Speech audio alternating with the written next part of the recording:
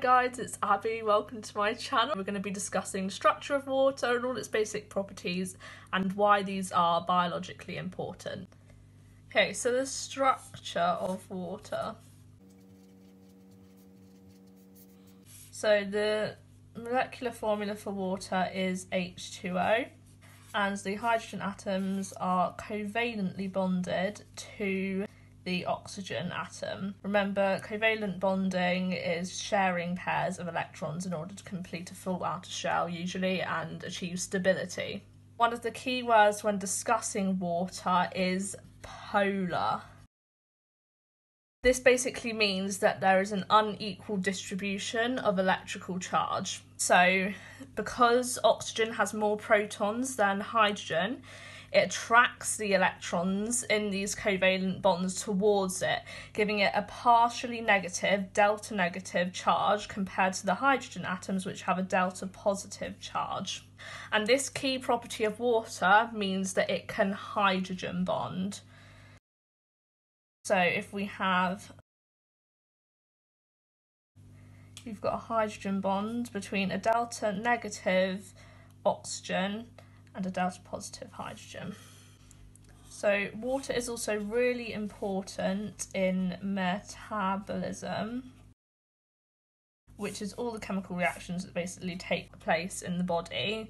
Water is a metabolite, which means it's a chemical substance that takes part in a chemical reaction. So water usually takes place in hydrolysis reactions, which use H2O to break an existing bond, for example, in the digestion of polymers, and then condensation reactions, where H2O is released when a new bond is formed, for example, amino acids joining together to create a polypeptide. So, the first and really important property of water is its latent heat of vaporization. So, latent heat of vaporization is basically the heat required to convert a liquid into a gas. Now, water's latent heat of vaporization is very high, which basically means it requires a lot of energy to convert it from a liquid to a gas. Now, the biological importance of this is that heat can be lost from a surface when it evaporates from it, which acts as a cooling mechanism. For example, sweating. And animals that live in deserts would not be able to survive without this mechanism. The next really important property of water is its specific heat capacity. So, specific heat capacity is basically the heat energy required to increase the temperature of a unit mass of a substance by a given amount. Water specific heat capacity is very high. In fact, it is 4.184 joules per gram degrees Celsius. You do not need to know that, but you just need to know that it's high as the biological importance of this is that water can act as a temperature buffer, so it can resist changes in temperature. For example, it allows us to um, have a thermostable internal environment so that we provide the right temperature within our bodies for enzymes to work. Also, it makes um, water a really good habitat as the temperature underwater is likely to be more stable than on land, so organisms can live in extreme climates underwater. Water is also known as the universal solvent. This means that it dissolves more substances than any other solvent on Earth. However, this does not mean it dissolves all substances. The reason for this is due to water's polarity. Now, water will dissolve hydrophilic substances. These are substances that are polar um, or ionic, and the water is attracted to them. So, the positive end of the water molecule will be attracted to the negative ion, and the negative end of the water molecule will be attracted to the positive ions. This means that the ions get totally surrounded by water molecules and therefore they dissolve. However, water cannot dissolve hydrophobic substances. So these are substances which are non-polar or uncharged, for example, lipids. Biological importance of this is that chemical reactions inside cells happen faster in aqueous solutions.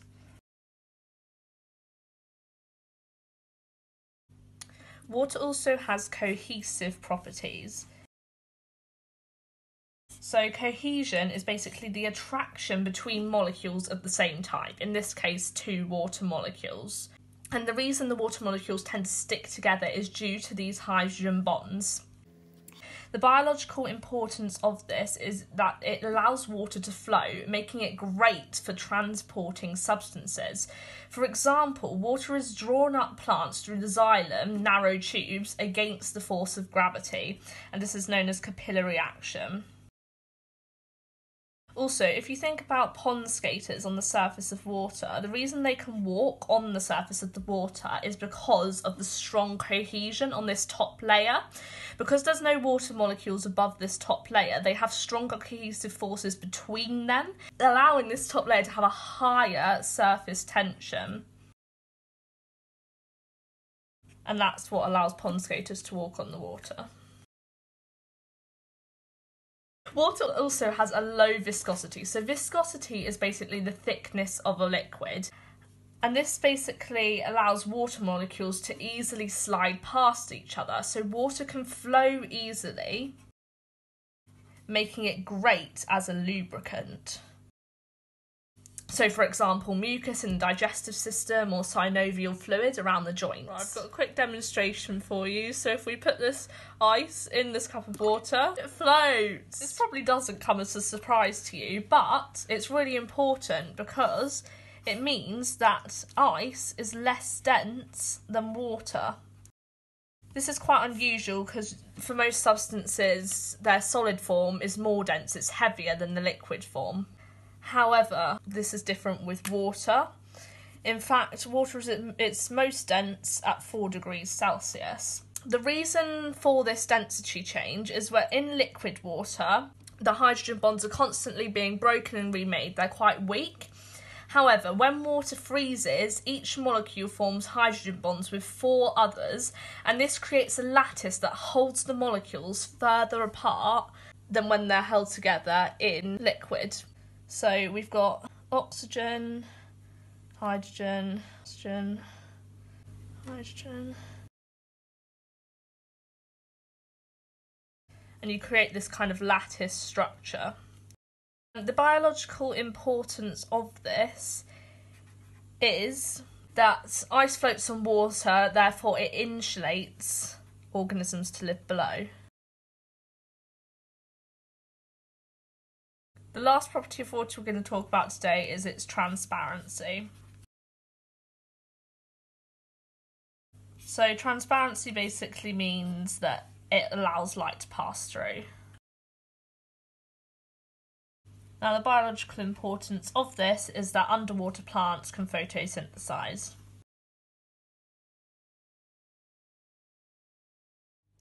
Okay, so now I'll pause the video and have a go at some of these questions.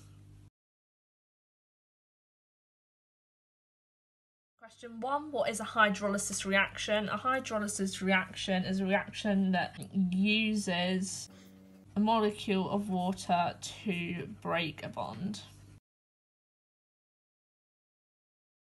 Question two Does water have a high or low latent heat of vaporization? It has a high latent heat of vaporization, which means it requires a lot of energy to convert it from a liquid to a gas. What is the biological importance of the high specific heat capacity of water?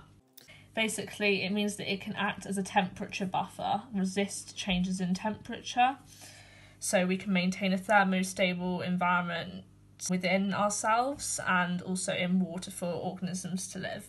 What is the name given to substances that dissolve well in water? That's hydrophilic. Remember, hydrophobic is substances that do not dissolve well in water. What bonds do water molecules form with other water molecules? Hydrogen bonds. That's due to the water's polarity. Why is the cohesion of water important? It allows water molecules to stick together and flow through tubes against the force of gravity. So, for example, with capillary action,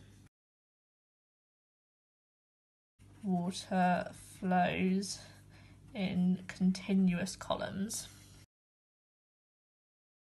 Why is it good that ice floats? Because it insulates water below for organisms to live. And does water have a high or low viscosity? Remember, viscosity is the thickness of a liquid. Water has a low viscosity, it's quite thin and it flows really easily. Okay, thank you for watching this video on water. I hope you enjoyed it and learnt something.